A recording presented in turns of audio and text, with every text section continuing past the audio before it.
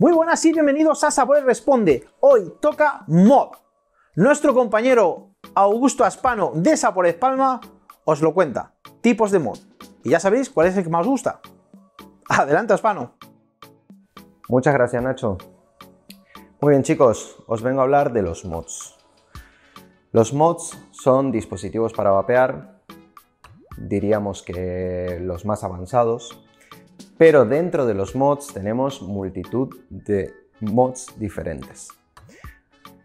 Para calificarlos de una manera más sencilla, diríamos que están los mods electrónicos, los mods mecánicos y los mods semimecánicos.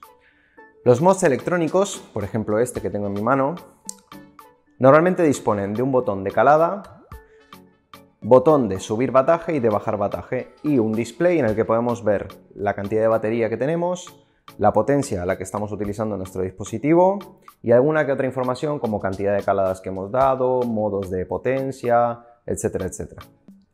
Luego existen mods mecánicos que son dispositivos mucho más avanzados en los que tendremos que tener conocimientos sobre la ley de ohms, resistencias, etcétera, y ya entraremos en ello más adelante. Un mod semimecánico básicamente es un mod electrónico con una electrónica muy sencilla, en la que solo tenemos un botón para accionar la calada, apagar y encender. Normalmente los mods están dispuestos de una rosca para comunicarse con los atomizadores que llamamos rosca 510. Esta rosca es el estándar prácticamente universal en el mundo de cigarrillos electrónicos y prácticamente todos los atomizadores como los mods disponen de esta rosca y así todo es compatible prácticamente.